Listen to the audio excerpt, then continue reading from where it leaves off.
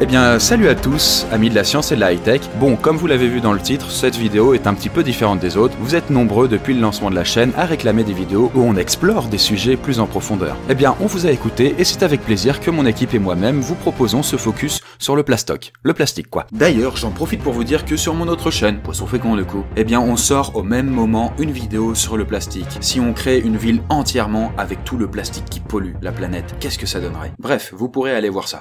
Et puis, comme plus on est fou, plus on rit, j'ai fait appel à un collègue youtubeur. Il est aussi très sensible aux questions écologiques et géopolitiques. J'ai nommé Doc7.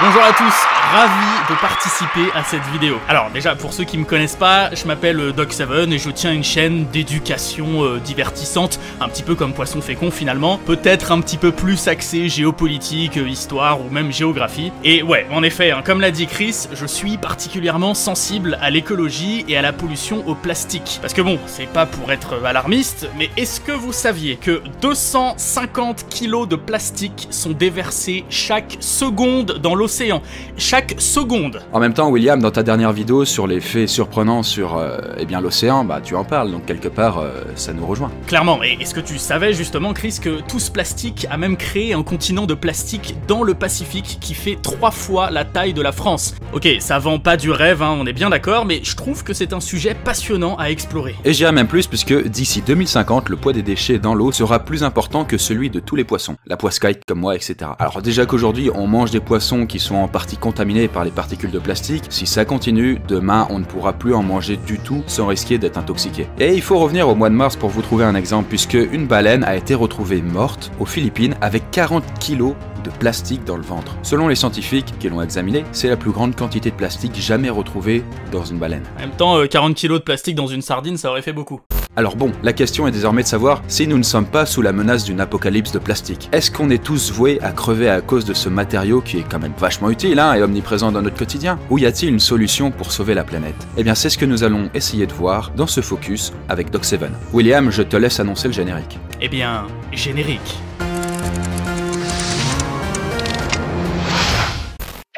Ah, le plastique. Depuis sa découverte par les frères Yacht il y a 150 ans, c'est devenu un matériau incontournable. Absolument incontournable. On le trouve absolument partout, que ce soit pour emballer la nourriture, pour fabriquer l'ordi ou le smartphone avec lequel vous regardez cette vidéo, ou même dans vos vêtements. Et pour faire court, plus on en consomme, plus on pollue d'homme nature. Et bien souvent, ce sont les animaux qui en sont victimes. Et l'une des histoires les plus connues est celle de la tortue dans le golfe du Mexique. Des océanographes... Des océan... Eh, William, j'arrive pas à la dire, tu le dis Des océanographes. Effectivement, c'est ça. De l'université du Texas ont secouru une tortue il y a 4 ans. Et en la sortant de l'eau, ils se sont aperçus qu'elle avait une paille enfoncée de 10 cm dans une narine. Bon, je t'épargne les images, ce n'est vraiment pas facile à voir tant la pauvre tortue semblait souffrir quand ils l'ont secourue.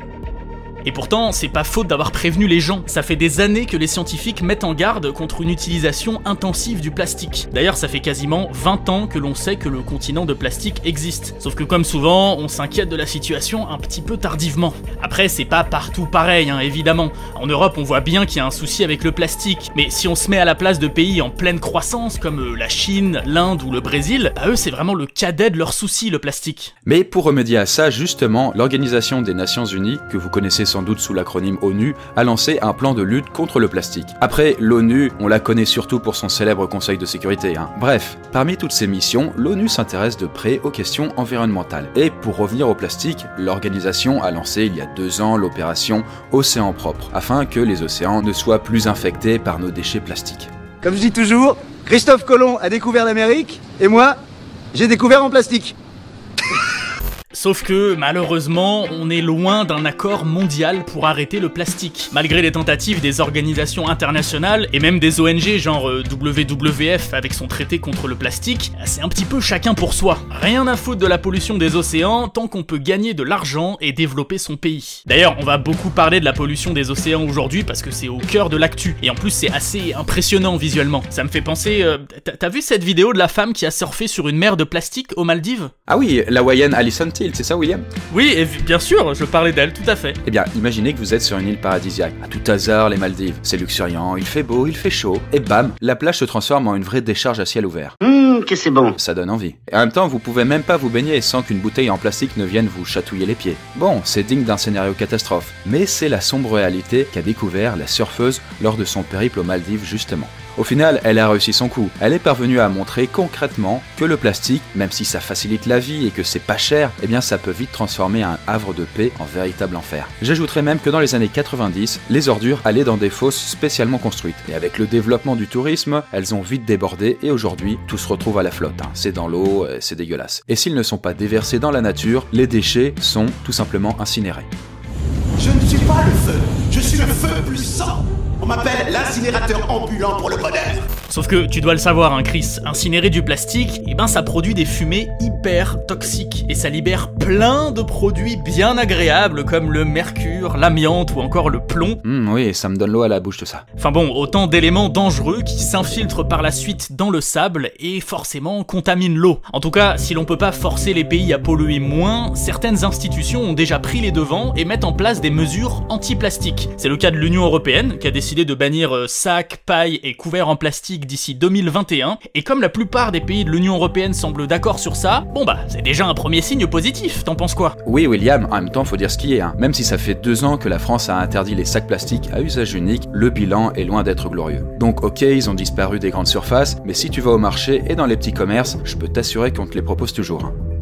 Bon, je te l'accorde, on n'est peut-être pas exemplaire, voire même un petit peu laxiste, mais faut bien avouer que les initiatives sont là. Après, tu as raison, il faudrait multiplier ces essais écologiques et surtout, surtout, réduire notre consommation de plastique au final. Il est sans doute là le problème, puisque l'ONU estime que 10 tonnes de plastique sont produites dans le monde chaque minute. Et sur ces 10 tonnes, combien sont vraiment recyclés Oui, c'est à peine 10%, et si on oublie les plastiques incinérés, le reste des ordures termine donc sa vie dans les décharges, les océans et la nature sublime.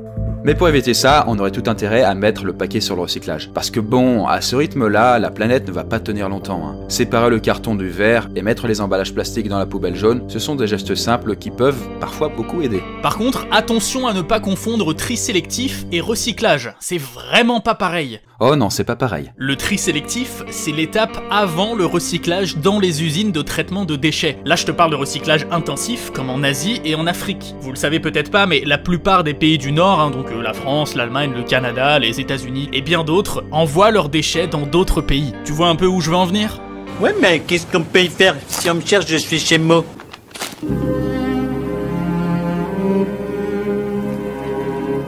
Ouais, je vois où tu veux en venir, William. Si ce qu'on appelle la poubelle du monde fermait ses portes, ce serait un gros souci pour tout le monde. D'ailleurs, il faut savoir que pendant pas mal d'années, la Chine achetait plus de la moitié des déchets des pays développés pour les transformer en d'autres produits. Sauf qu'être considéré comme la poubelle du monde, ça n'est pas très glorieux. Du coup, les Chinois ont été très clairs l'an dernier, gardez vos déchets plastiques pour vous, on n'en veut plus. Je pourrais le faire avec l'accent, mais ce serait peut-être un peu, un peu déplacé. Ouais, ce sera un petit peu déplacé. Bon, et comme il n'y a pas beaucoup d'efforts niveau recyclage dans la plupart des pays du monde, eh ben c'est un petit peu la merde. Heureusement, à la place, on a trouvé d'autres pays pour accueillir nos déchets en Asie du Sud-Est. Désormais, c'est en Indonésie, en Thaïlande et en Malaisie qu'on envoie les bouteilles d'eau vides, les bidons de lessive et les emballages alimentaires. Surtout que ces pays n'ont pas été choisis pour leur technique de recyclage miraculeuse. Hein. En fait, dans ces pays, la loi n'est pas aussi contraignante niveau préservation de l'environnement que chez nous. Du coup, faut pas vous étonner si, en vous baladant, vous tombez sur une décharge à ciel ouvert, une, une décharge sauvage quoi. Le traitement des déchets là-bas y est très limité et les paysages d'Asie du Sud-Est sont très souvent défigurés. Après, ne soyons pas défaitistes non plus, on peut encore changer les choses. Pour ça, il faut aider les gens à changer leur comportement vis-à-vis du plastique. Par exemple, plutôt que d'acheter des bouteilles d'eau au supermarché, il faudrait plutôt utiliser des bouteilles en verre et boire l'eau du robinet. Et si vous aimez les tortues et les poissons, évitez de boire avec une paille, ça leur rendrait un grand service. Effectivement, et on va continuer sur les, conseils de grand-mère, puisque avec les beaux jours qui reviennent, ça va être l'heure des pique-niques. Là-dessus, plutôt que d'utiliser des assiettes ou des couverts en plastique, eh ben, vaut mieux opter pour du carton ou même des couverts à base d'avocat, on avait déjà parlé. C'est stylé et puis ça, va préserver la planète quoi. Après, je ne sais pas si ces petits gestes à notre échelle vont révolutionner le monde, mais ça peut prouver que les mentalités évoluent dans le bon sens. D'ailleurs, certains n'hésitent pas à engager des actions de grande ampleur comme le projet Ocean Cleanup, qui ambitionne de débarrasser l'océan des déchets plastiques. Rien que ça. En fait, ce projet a été lancé par le Hollandais Boyan Slat, afin de nettoyer le continent de plastique dont on vous parle depuis le début de la vidéo. Son idée est de déployer une trentaine de barrières flottantes en forme de, de fer à cheval dans le Pacifique Nord. C'est là où se trouve le continent de plastique. Avec ça, il espère pouvoir en nettoyer la moitié d'ici 5 ans. Fait quand même plaisir de voir que la jeunesse se mobilise pour sauver la planète.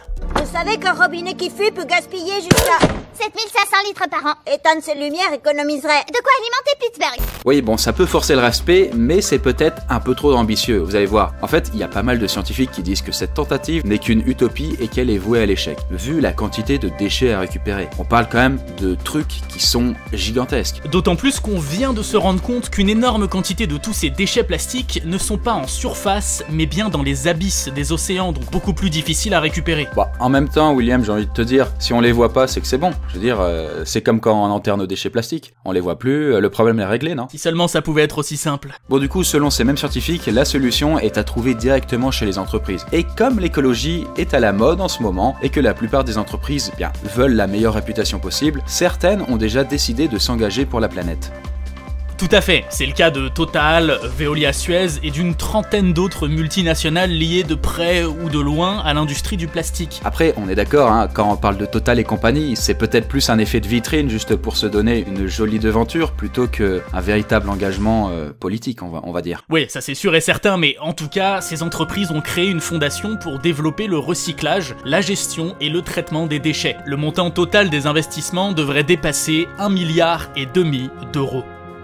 Bon, tu vois, il est aussi un peu là le problème. Depuis le début de la vidéo, on explique que les institutions internationales comme l'ONU essayent de lutter contre la pollution au plastique et à chaque fois, on voit que les pays, eh bien, ne jouent pas le jeu. Du coup, la solution est de se tourner vers les entreprises pour sauver la planète. Bon, si elles y parviennent, je serais très content, mais du coup, au niveau des pays, eh bien, ça sert à quoi la politique? Parce que ce serait pas un peu leur rôle d'agir pour la planète? On ne les a pas élus pour ça, dans un certain sens. Ah bah ça, c'est sûr que je vais pas te contredire sur ce point. L'écologie a longtemps été reléguée au second plan dans le débat politique alors qu'elle est tout aussi importante que les autres sujets, si ce n'est plus. Mais j'ai une bonne nouvelle, le gouvernement français semble avoir un petit peu tenu compte des mouvements écologiques de ces derniers mois en créant le pacte national pour les emballages plastiques. Le gouvernement a réuni 13 grandes entreprises et deux ONG pour lutter contre la pollution plastique. Bon, et les grandes entreprises, bah on peut les compter à l'appel. Mais ce dont on aurait besoin, c'est surtout que les enseignes de la grande distribution s'engagent dans leurs magasins. C'est quand même là que l'on consomme le plus de plastique dans la vie de tous les jours. Sache que Auchan, Carrefour, Casino, Franprix, Monoprix et Système U se sont tous engagés à investir dans le recyclage des plastiques. Selon le gouvernement, l'idée est de créer une sorte de cercle fermé où le plastique serait toujours réutilisé et ne se transformerait jamais en déchets. Est-ce que vous voulez des sacs? Meurtrière On veut pas que les sacs plastiques finissent dans la mer, ça étouffe les bébés phoques Ouais, on se débrouille Ouais, bah on va pouvoir peut-être attendre encore quelques années, puisque d'après ce fameux pacte, le recyclage à 100% des déchets plastiques par ces entreprises ne se fera pas avant 2025. Et puis avec un peu de malchance, ça prendra du retard et on continuera d'utiliser du plastique comme aujourd'hui. Par ailleurs, le plastoc hein, n'est pas comme le papier ou le métal qui peut être recyclé plusieurs fois. Dans le processus de recyclage du plastique, la qualité se dégrade et au bout d'un moment, eh bien, il est inutilisable. Et en général, ça peut d'ailleurs arriver au bout de seulement quelques cycles. Sans compter que tous les plastiques ne se recyclent pas encore. Ah, un petit peu d'espoir quand même. Du coup, pour ne plus être dépendant, il faut d'abord réussir à ne plus en produire. Ensuite, dès qu'on aura trouvé une solution euh, solide et pérenne, bah, on pourra se débarrasser de tous les plastiques. Après, j'ajouterais quand même qu'il y a de plus en plus d'entreprises qui sont en train d'inventer des nouveaux plastiques, des bioplastiques. J'en connais certains qui sont faits à partir de pommes de terre non comestibles ou même à partir d'algues. Et c'est quand même, notamment pour les algues, assez facile à produire puisque les machins, tu les fais pousser au large dans la flotte. En plus, ça va récupérer le CO2 et ça va produire de l'oxygène. Et puis, paf, vous avez des bioplastiques qui, si vous les balancez dans la nature, deviennent du compost et puis disparaissent. Ça, c'est quand même un bel espoir. Alléluia, allons investir là-dedans. Bon, du coup, finalement, William, l'apocalypse du plastique, c'est peut-être pas pour demain si on agit dès aujourd'hui. On pourrait même l'éviter totalement si on arrive à se détacher du plastique. Ou alors, du coup, à trouver un autre type de plastique, comme on l'a dit, hein, bien sûr. Bon, pour cela, il faut quand même continuer à expliquer pourquoi ce matériau n'est pas une solution viable. Quand on parle, bien sûr, du plastique qui vient euh, du pétrole. Après, il faut pas non plus culpabiliser, hein, puisque c'est très difficile d'y échapper au quotidien. L'idéal serait que chacun, individuellement, essaye de remplacer de plus en plus les produits plastiques par des matières plus durables. Par exemple, essayer d'emmener une bouteille en verre ou une gourde la prochaine fois que vous partez en voyage, ça vous évitera d'acheter une bouteille en plastique. Quand vous faites vos courses par exemple, essayez d'acheter en vrac et utiliser des sacs en tissu ou des tupperwares. De toute façon, les alternatives sont de plus en plus nombreuses et tous ces petits gestes simples ne peuvent que faire avancer les choses. Évidemment, ça chamboule un petit peu les habitudes de vie, mais franchement, c'est juste quelque chose à prendre. Entre nous, ça vaudrait peut-être pas le coup d'essayer Je suis d'accord William, c'est peut-être mieux d'être optimiste plutôt que voir le verre à moitié vide. Après, c'est un verre rempli de plastique là, donc je ne sais pas si on peut vraiment boire dedans. En tout cas, merci beaucoup William d'avoir répondu présent pour ce focus. Je rappelle bien entendu que du coup, tu une chaîne YouTube si vous ne la connaissez pas, ça me semblerait hautement improbable,